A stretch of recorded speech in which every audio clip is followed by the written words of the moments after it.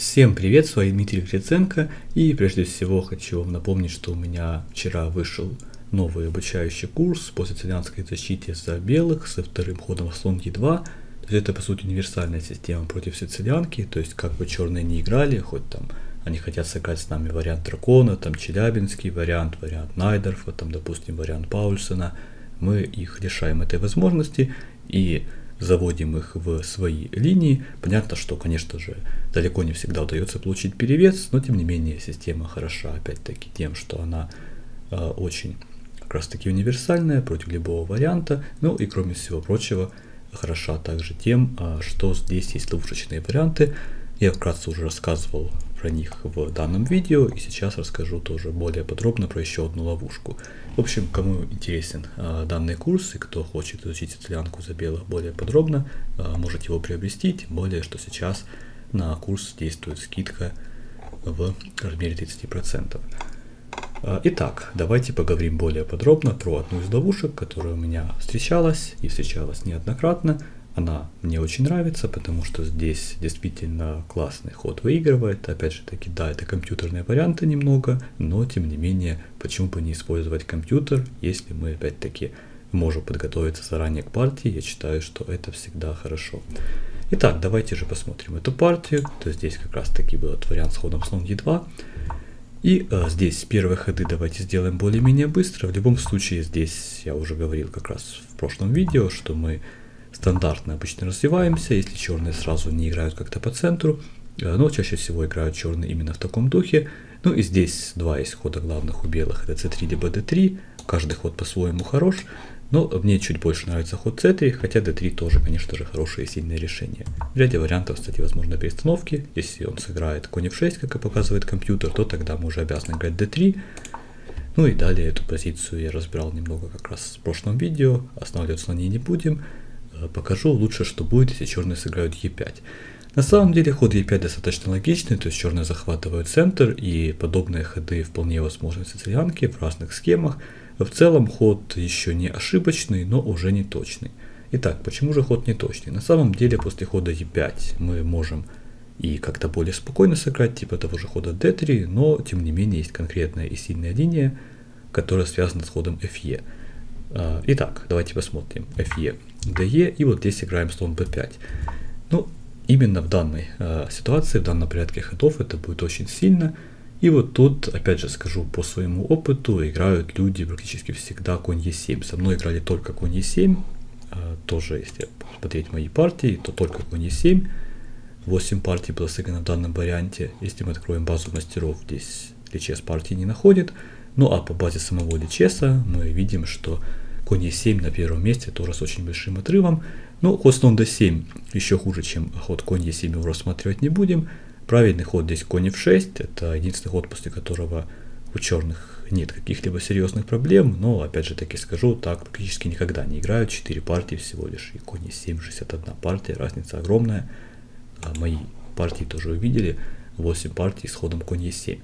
То есть, если черные здесь успеют просто уйти в рокировку, допустим, мы какой-то делаем Э, там ход типа d3, черные играют рокировка, у них здесь отличная позиция, и на самом деле э, вся прошлая игра белых не имела никакого смысла. То есть, допустим, слон b5 тоже странный ход, мы просто связали коня, но непонятно для чего это. Так вот, в данной ситуации все это работает, потому что у нас есть очень сильный конкретный выпад, это ход конь g5. Ну, э, скажу все-таки еще пару слов про ход конь f6, то есть на конь f6 здесь можно даже и пешку съесть, но компьютер считает, что еще сильнее сыграть, допустим, d3. Ну и здесь позиция примерно равная, у белых если есть перевес, то совсем минимальный. Но опять же таки скажу, что здесь практически всегда на автомате следует ход конь e7, особенно в блице, тут люди играют конь e7 не думая. Опять-таки, если позволить черным сейчас уйти просто в рокировку, то у нас ничего здесь нет, у черных отличная позиция, но вот за счет хода конь g5 у белых есть перевес, ну и в ряде вариантов можно очень быстро победить в этой партии. Итак, у черных есть тоже в этой ситуации два самых логичных хода, самых сильных, это либо рокировка, либо ход f6.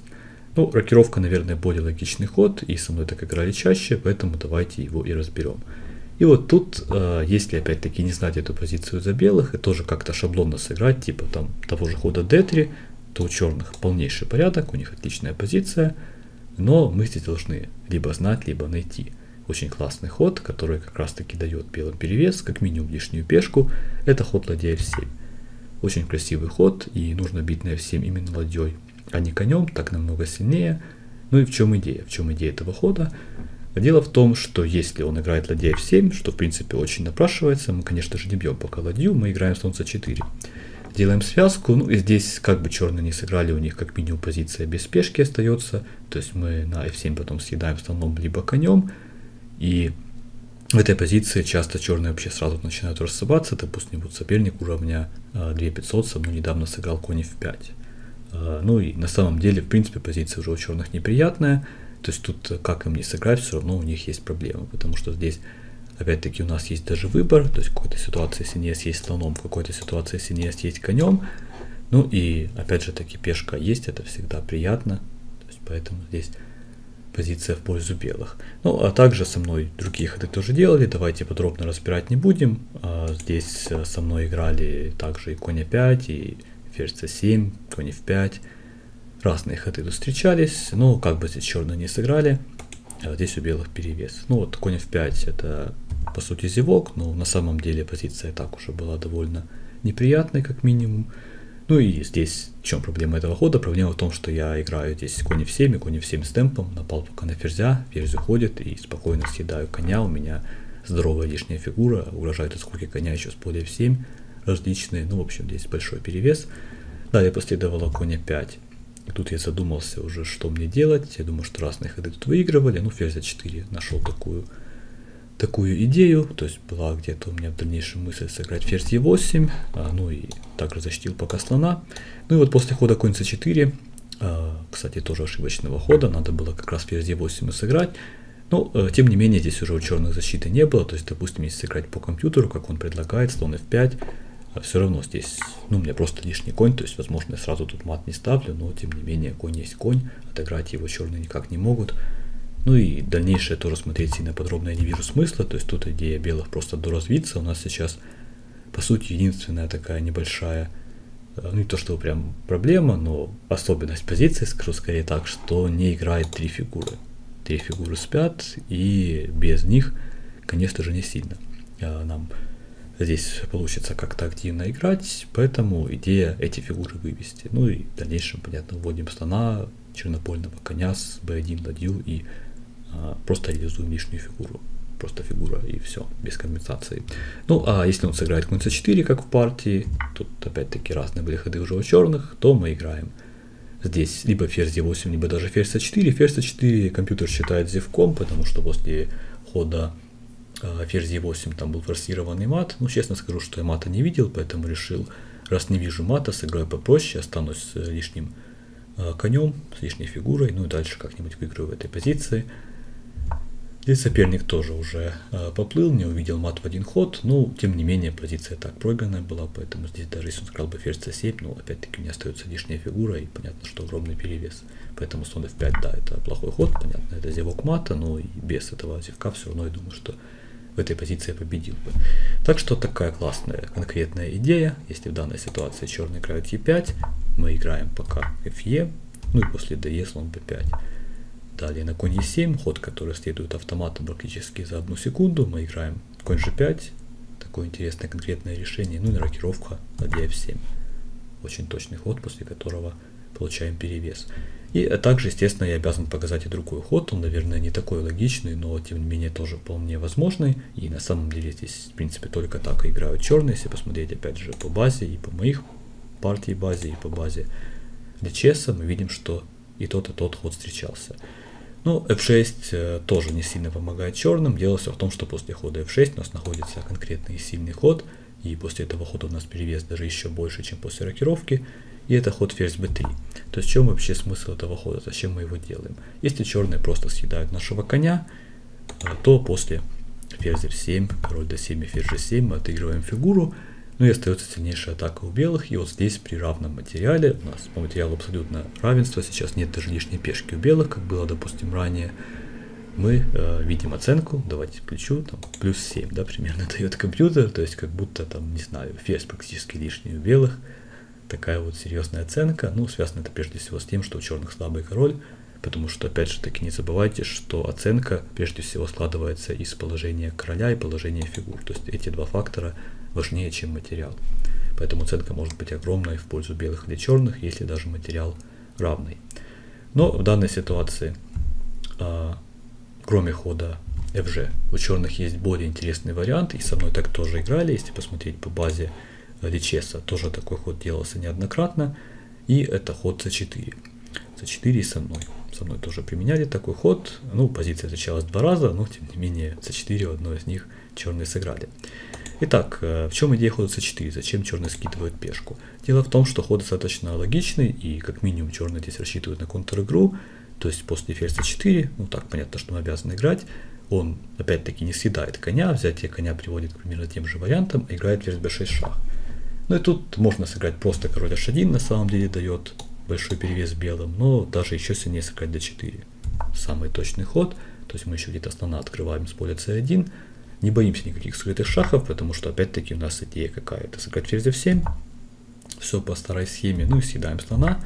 Еще и плюс ко всему для черных неприятно, что ладья пока под боем.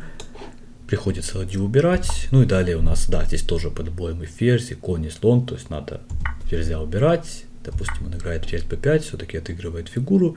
У нас всего лишь лишняя пешка, вроде бы материальный перевес минимальный. И казалось бы, здесь у черных все нормально, но тем не менее после какого-нибудь развивающего хода, типа там коня 3, были и другие ходы, на самом деле большой выбор был у белых. Так вот, здесь перевес у белых еще больше, чем в прошлом варианте. Видите, там плюс 10 примерно по движку я включал, специально движком проверял. И здесь как будто это у нас даже больше, чем ферзь лишний, судя по оценке компа.